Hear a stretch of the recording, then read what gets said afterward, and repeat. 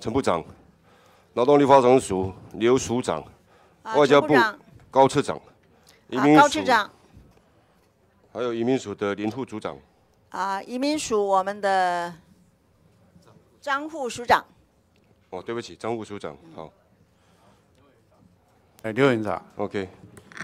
外交部还有亚东太平司的司长，哈，也也一并来吧。哎，哎，司长请，亚太司司长请。我们今天要讨论到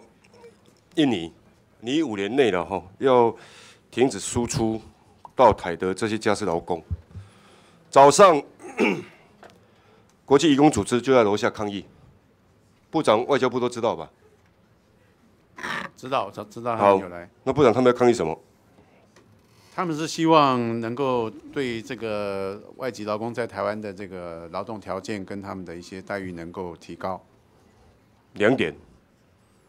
待遇嘛，哈，对，还有劳动条件，还有什么？条件？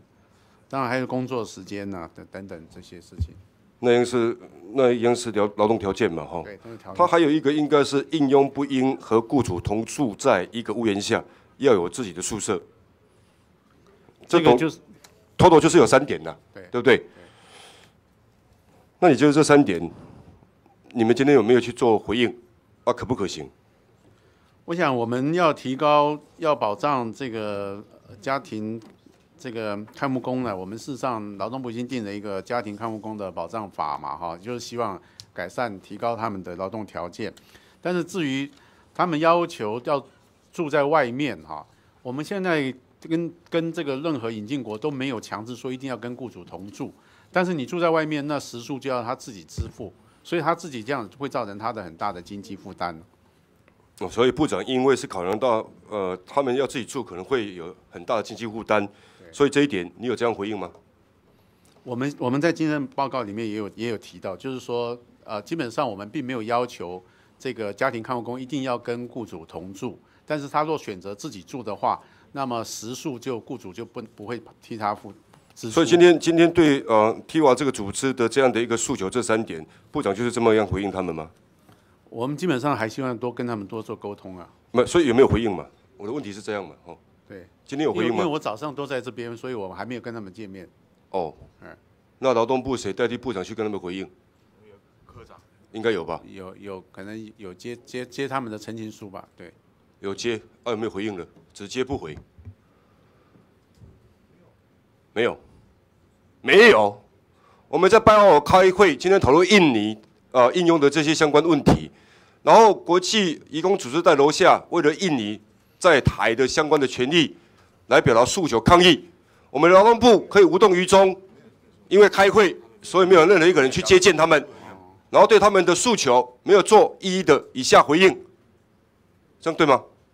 没有，刚刚我问了一下，他们并没有第一交陈情书，他们就是表达诉求，所以我们是有一个科长在在在现场，但是也没有，他们没有陈情书，所以也没有任何的这个。所以科长也不需主动去做任何回应，就在那边默默的站在那个地方，听他们怎么讲、怎么说，是这样吗？这是部长你的作风吗？我礼拜一还肯定部长，我想现在中央的各部位首长应该民调最高的是你。今天我们来开这个会，你马上被抗议了。你要不要听国际移工在底下如何看待劳动部，如何看待部长你？嗯，我们很愿意接受指教。啊根据啊哦国际劳工组织公约第十条哈，各成员各成员国需根据国家法律法规或团体协约，采取措施确保家庭工人在正常工作时间加班补贴、每日和每周休息时间与带薪年休假方面享有一般工人同等的待遇。如果照这样的一个国际公约，如果照台湾是一个重视人权的国家，如果照部长是一个重视劳动权。我想今天国际移工组织不会到楼下来抗议。然后，如果政府现在的劳动部不去回应他们以上这三点，就单凭刚才我就教于呃部长最后的一点，是不是要住在同一个屋檐下，要有自己的宿舍等等等？那我们在委员会去做探讨，不正面去对这一些呃国际移工组织或是印尼的这些来台的家事工作者做很正面的回应，我想印尼当然不愿意再输出他们的劳工到我们台湾来，这是毋庸置疑的。所以部长要不要做一个回应？是，我想印尼政府除了今天的这个移工组织之外，事实上印尼政府有正式跟我们有会谈过，他们也提出了这样子的一些条件跟要求。那我们也跟印尼政府有正式说明过，就说我们也在做相关的评估，包括立法，像我们这个呃家事劳工保障法，我们就是立法，就是要把刚才他们的这些诉求呢，这些条件要放在里面，要放在这个法律里面，能够来做推动啊。所以这个是我们给他的回应。那他们当然希望呢，另外一个诉求就刚刚委员特别强调的，就是他们希望不要跟雇主住在一起。那我们当然也是把这个意见告诉。印尼官方是说，这样子的情况之下，那雇主不负担他的这个居住，那他对他们的这个经济会不会造成冲击？也希望他们要能够做一个评估。我们除此说这样做一个回应，呃，考量到请贵国，请印尼的国家考量他们会不会有什么经济的冲击，除此之外，我们还做什么样的一个应应？因为这个是大家都还在还在谈判过程中，因为我们是今年的今年的二月才就。就十二月跟印尼官方才正式开了一个会嘛，哈，那么一般就是开。去年的十二月跟印尼的官方开一个会。对，就是对这些诉求，我们大家有，他们也是正式提出来，我们也有了解。所以我们一边在跟印尼的官方做沟通，做相关回应。我们劳动署的署长就在一月一百零四年一月上任之后，马上对外发言，也就是说，印尼你要停止这些呃家事外劳，或是说。劳动外劳来到我们台湾，那也没有关系，因为我们准备要跟缅甸引进缅甸的劳工，将近一百至两百个两百个人，所以一边跟越印尼的官方在谈判，一边我们自己在国内对外放话，说没有印尼的外劳，还有缅甸外劳可以来做引进，这是什么状况？部长，请简单回答。我的时间有限，我想这个引进缅甸的这个劳工，这个不是今年一年半年来一年半载的事，这已经进行一两年了，一直在进行中。我们就所以，所以刘处长所讲的话属实。他在三月九号在立院受访时表示，预计最快四月引进缅甸外劳，锁定制造业及农业外劳，预计引进一百至两百人。而事办引进外劳已获外交部同意。次长，外交部次长，请答复，已经过你们同意吗？报告委员啊，这个我们是在跟配合劳动部啊，当然就是说在一些国家我们都有在谈这个劳务合作的，所以你们跟缅甸谈的已经成熟了，所以你们同意劳动部，而且刘所长所讲这这段话已已经经过你们的同意，有吗？劳务合作不需要外交部同意，他是他们主政。我们那你回答我嘛？你跟缅甸政府已经谈妥了，你们已经呃什么时候要互设办事处，然后可以呃在今年的四月就已经可以经过缅甸政府的沟通协商同意引进缅甸外劳到我们台湾来。外交部有如此掌握这样的讯息吗？呃有这样的进度吗？报告报告委员，我们并没有达到这样的一个协议啊。好，谢谢谢谢次长。所以刘处长在讲什么话？没有跟委员报告，当时的应该是呃媒体把几个事情串联在一起，因为他问到，所以媒体错了，是冻结那个越南的部分里面，我们在三月底四月会陆陆续续召开，这是在讲那个越南的部分，然后所以媒体把越南呃把缅甸当成越南，对对对对，把越南当成缅甸，对对对，哦，媒体是哪一个报道错误的？你可以指出来吗？不晓得，因为有一些，因为他们媒体很多人问的时候，同时问了很多问题，然后我我一个一个个的回答，可能有些记者就把它合起来，那个这样的写法，所以基本上当天的记者问我的话，他就说越南的事情是怎么样，呃，缅甸的事情是怎么样，然后我意思说缅甸部分事情还很大的变数，越南的部分比较明确，所以基本上是这样的讲法，所以基本上一个记者一个媒体会把你讲的话误认为。这样的奇怪，你这边讲的是说预计四月引进缅甸劳工，锁定制造业及农业外劳。如果把缅甸当成是越劳，这很奇怪啊。没有没有没有，那个缅甸的事情，他们有在问到说有有关于缅甸的部分会怎么样？我说基本上有很多方面的的做法，因为基本上还是要牵涉到呃缅甸方的那个需求跟我们这边的产业的需求这样子的部分再去处理这个。所以现在你所讲的跟缅甸政府跟外交部同意的，这些都是子虚乌有，这些都是媒体记者搞错的，是不是这样？缅甸的部分，刚刚部长有说明的，就是说已经持续讲了很久。其实媒媒体记者也很清楚，缅跟缅甸已经谈的哪到到什么程度了。所以基本上，刚才部长没有回答我缅甸的事情了，那是次长回回答我的，你搞错对象吧？不是，这跟跟委员报告，缅甸呢，就是在我上任之前，其实我们就已经在一百零二年就曾经就跟缅甸一直在接触。那当然中间还有跟外交部他们，就是重重点在于缅劳要来的话要要签证，签证我们当然需要最好是互设办事处，这个是最好的一个模式。但是现在缅甸呢，对于设办事处这一件事情呢，到现在都还没有具体的回应。我想这个是关键所在。其他其他的评估都作业完成了，就是他们也愿意到台湾来，我们也愿意引进他。这些大概就是他们适不适合台湾来做相关的这个工作，这些都评估完成，就剩下一个这个这个签证的这个是不是要有设一个代表处的问题。那那外交部刚才次长已经这样做答复了，就是说整个要跟缅甸政府政府有建制到所谓的附设办事处，外交部次长可以正式的在委员会答复陈部长及我们这些委员，让我们了解到到底到底你们的进度到什么程度，不然为什么劳动部好像有点越袍带足，就整个外交上的。跟缅甸国家的相互的，这不只是一个外劳的，呃，一个一个劳动力的一个一个互互互呃呃互相的一个缔约等等等，好像好像好像外交部没有存在的必要，还是外交部